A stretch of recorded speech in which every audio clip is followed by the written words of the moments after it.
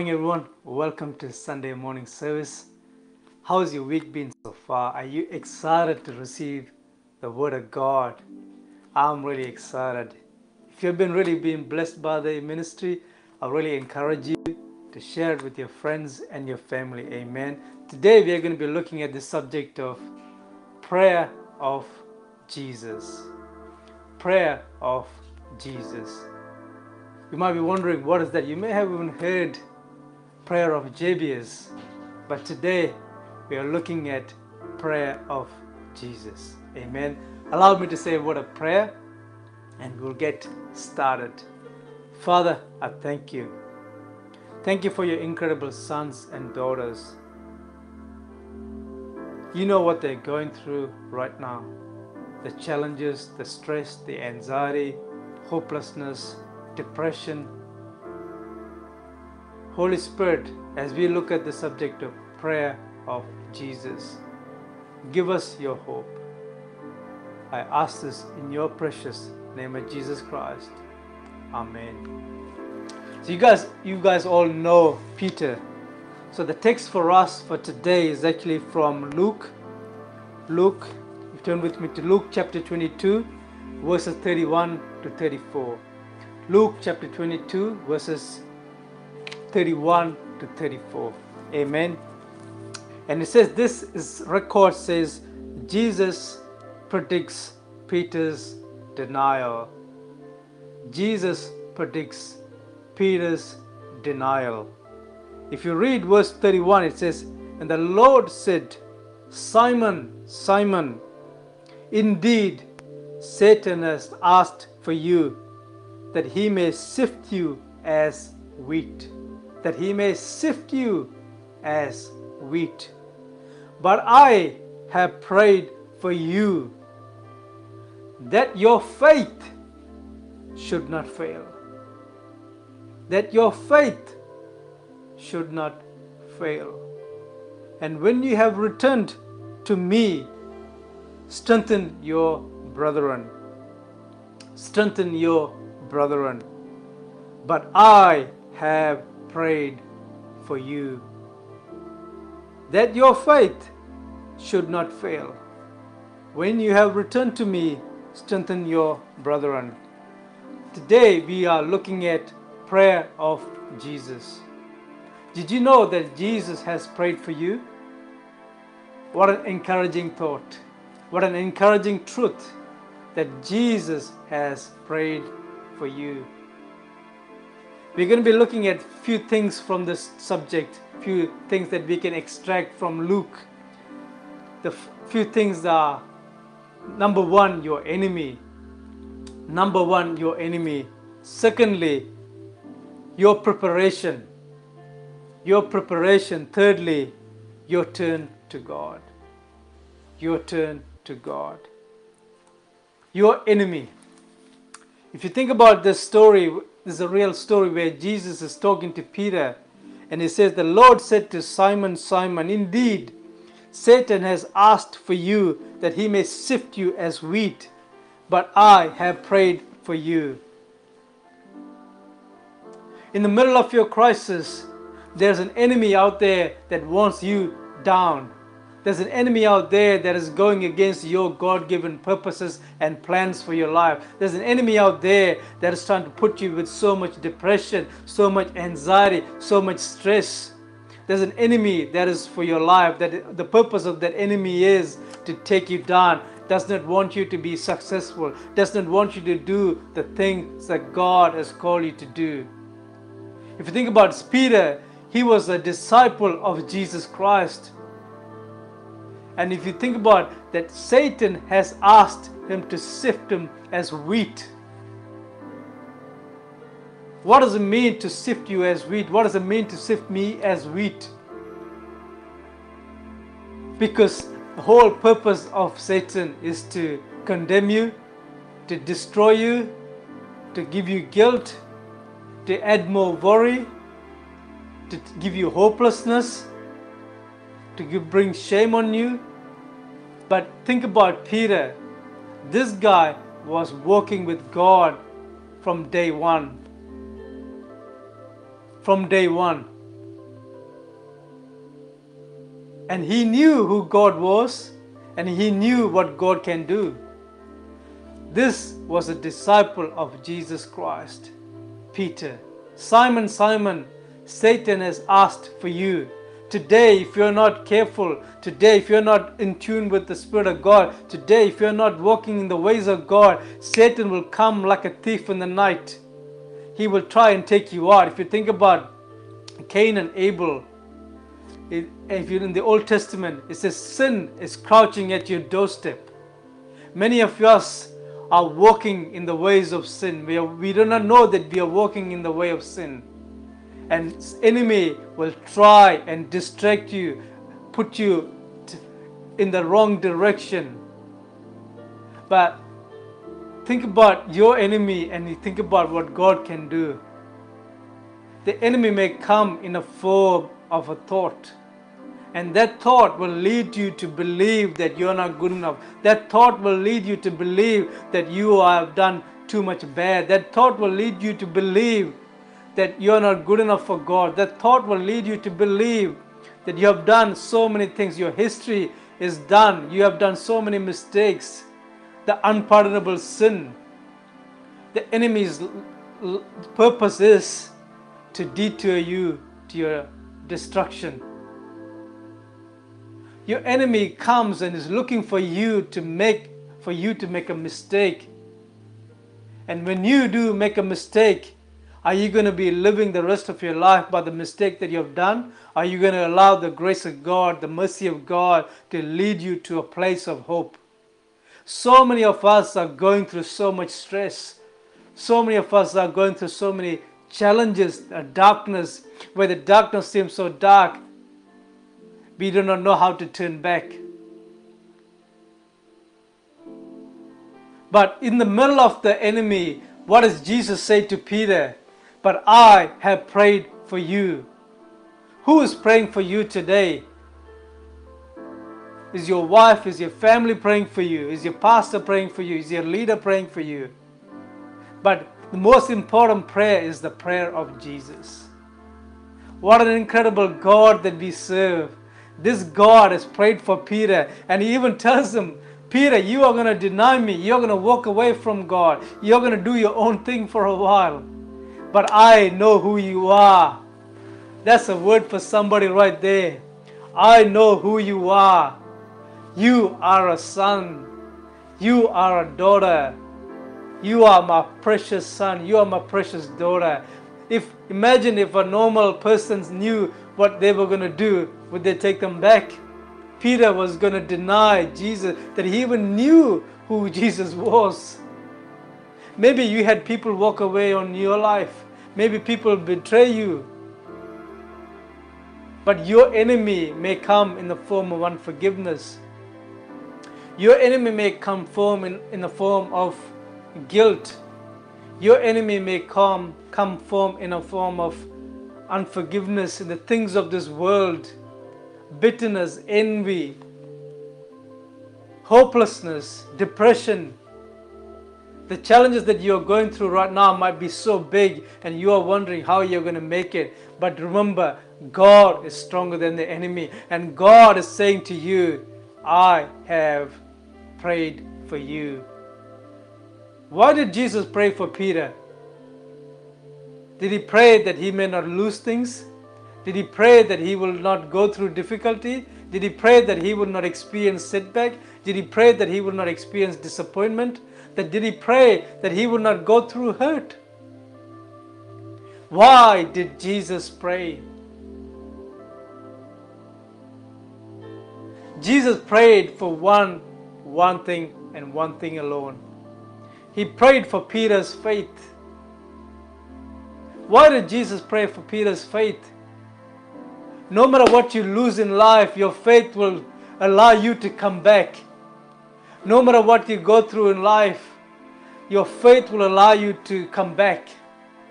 No matter what, you may have lost your job, you may have lost your health, you may have lost your finances, you may have lost the things that are very, very important to you.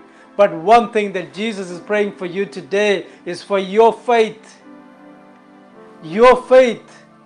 Do not lose your faith in God. Faith as a mustard seed can do incredible things in your life. Faith in who God is and what God can do in and through your life. Where is your faith in the middle of your enemy attacking you? Where is your faith in the middle of your hurt? Where is your faith in the middle of hopelessness? You may have lost your house. You may have lost your loved one. You may have lost your job. Where is your faith? Where is your faith? Is your enemy stronger than your faith? Or are you allowing Jesus to pray for you? Can you believe God again? Can you?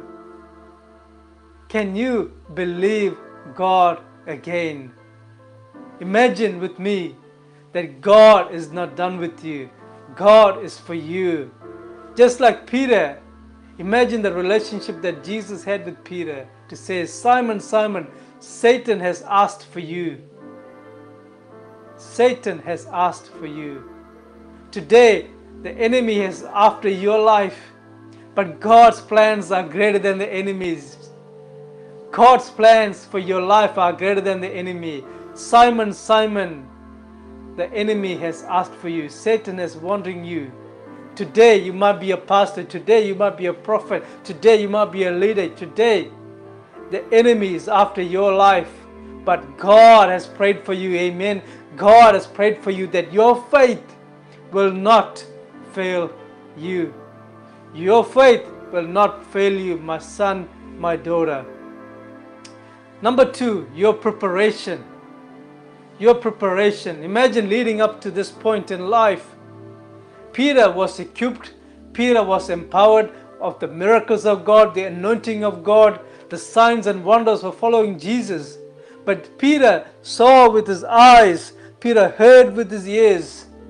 Yet he denied the one that could save his life. Yet he denied the one that holds his life in the palm of his hands.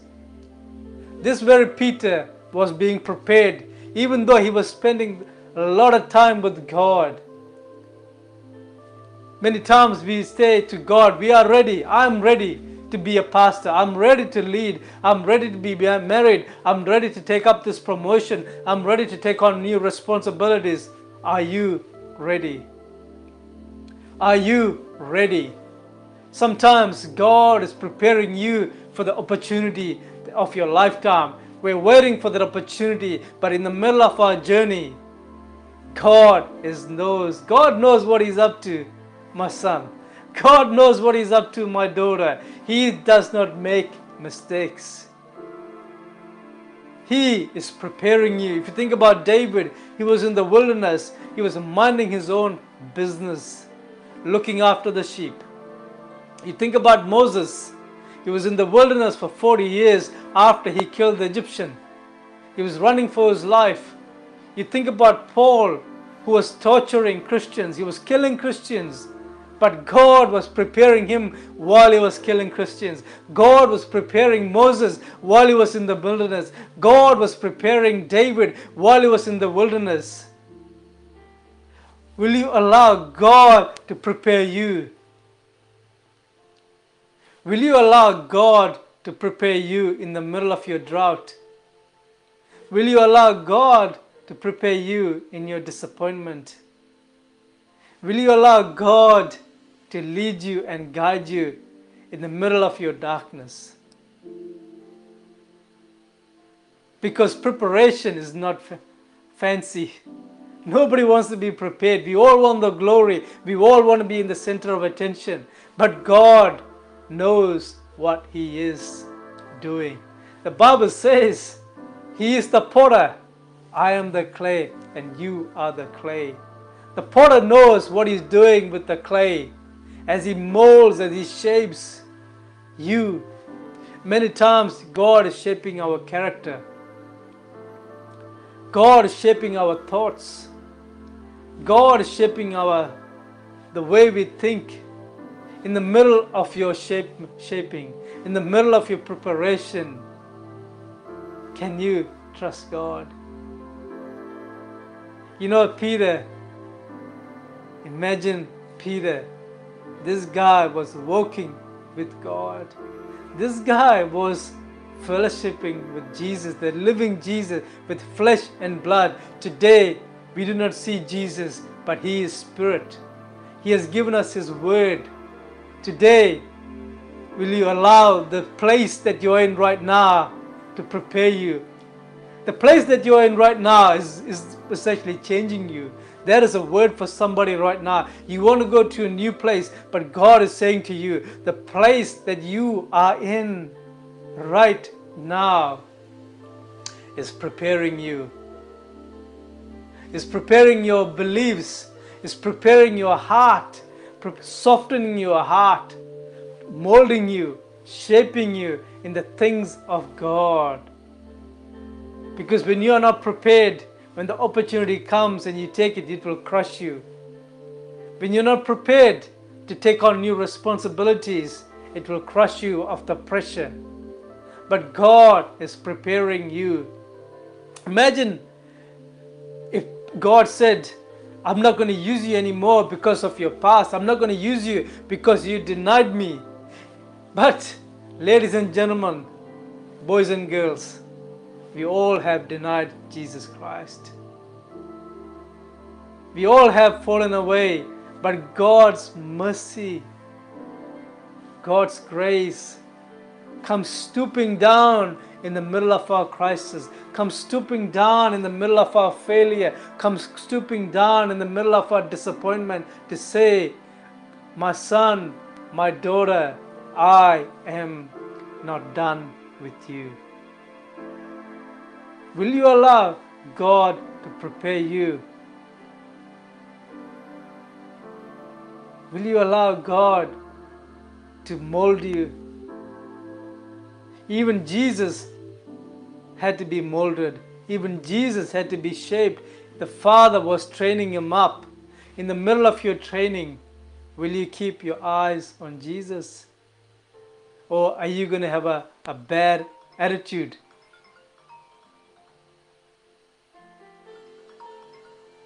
What are you going through right now? In the middle of your challenges, in the middle of your setback, in the middle of your disappointment, will you allow God to prepare you? When you are prepared, you can understand people. When you're prepared, you can relate to people. When you're prepared, when you've gone through hell and high water, you can relate. You can lead people. You can show them and walk alongside of them. Because Jesus knew Peter was going to do it. But his ending did not end in denial, but his ending ended in his destiny. Come on, somebody, that is the grace of God. That is the incredible grace of God, the mercy of God that chose to use Peter. The last and final point your turn to God. Your turn to God. What did Jesus say? If you read to uh, Luke again, it says, For I have prayed for you that your faith should not fail when you have returned to me. When you have returned to me. You know, in life you will go through so many challenges. In life you will experience difficulties. In life you will experience setback. In life you will be down some days. But in the middle of your failure, who are you going to turn to? In the middle of your mistakes, who are you going to turn to? Are you going to say, God is done with me? Or are you going to say, God still can use me. Imagine Peter's life, what God would have felt, what God would have felt in his heart. He walked with them, he worked with them, he showed them, he had fellowship with them, he ate with them, yet he denied him. But he says, when you choose to return to the source. Many of us have fallen away from our first love. Your first love is, should be God. Your first love should be about Jesus. When all things fail, who are you going to trust? When all things fail, who you're, who you're going to turn to. When you are faced with a hopeless situation, who are you going to turn to? You may be going through a health challenge that seems like out of hope now. There's no hope for your life anymore. You might be going through a job loss. You might be going through a challenge in your relationship. Who are you going to turn to? This is a very, very important key. My son, my daughter, who are you going, going to turn to? Is it Jesus or is it things of this world? Is it alcohol? Are you going to turn to comfortable things? Are you going to turn to things that are comfort, that are going to be temporary comfort to you? Because of your mistakes, because of your guilt, because of your past, you, don't, you think God will not want to do anything to do with you anymore. But God is saying to you and I, turn to me. Turn to me. Regardless of your past, regardless of your mistakes, regardless of where you are, if you turn to me, I will do an incredible thing that I hold your future. Your future is not determined by your past failures. Imagine if Jesus determined Peter's future by his denial. There will be no more Peter. There will be no more Peter. Imagine if Jesus said, Your future is cut off now because you have, de- you have denied me openly. You have denied me that you knowing me. But the incredible grace, the incredible mercy of God, even in the midst of your denial, God has for future. But the key is you have to turn to Him.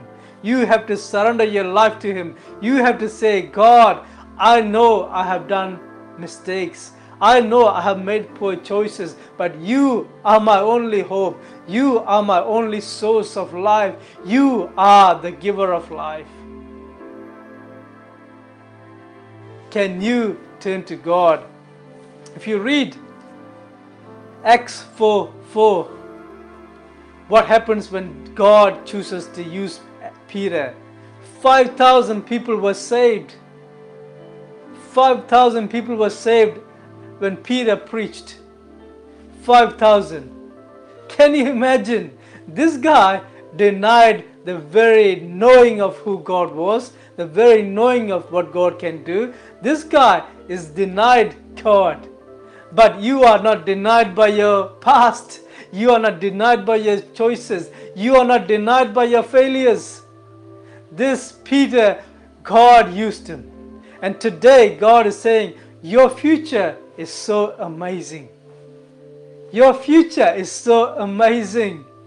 What an incredible God that we serve. I'm excited for you, for those who are struggling, for those who are disappointed, for those who have given up on life.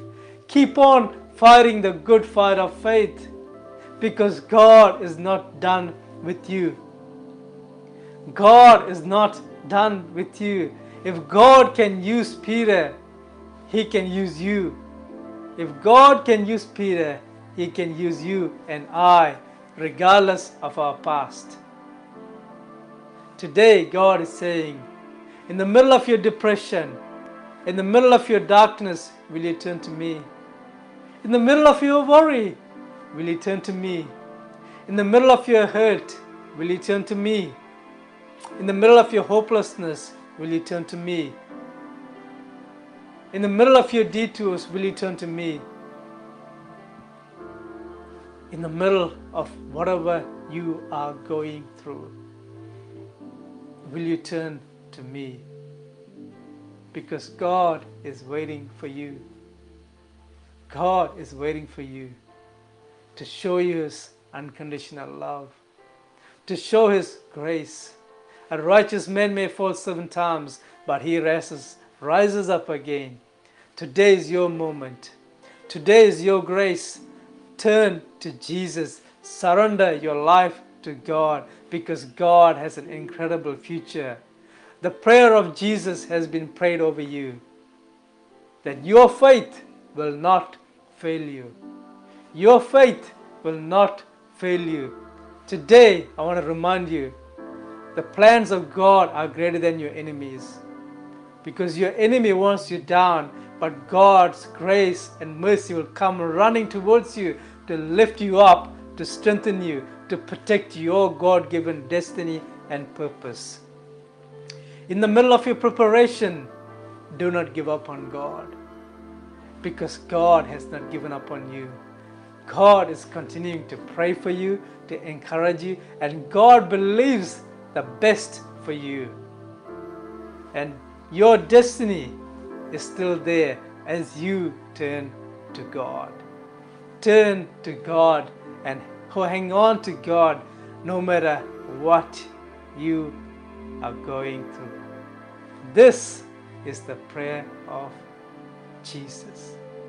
If you haven't accepted Jesus Christ as your Lord and your Savior, this is a moment for you that you give your life to Christ. Thank you for connecting to us in this ministry. If you have been blessed by this word, share it with your friends and your family. May the Lord bless you and keep you. May the Lord make his face shine upon you and be gracious to you. May the Lord lift up his countenance upon you, give you peace, give you joy, give you strength. That Jesus has prayed for you, that your faith will not fail you. Have an amazing, blessed week ahead. Amen.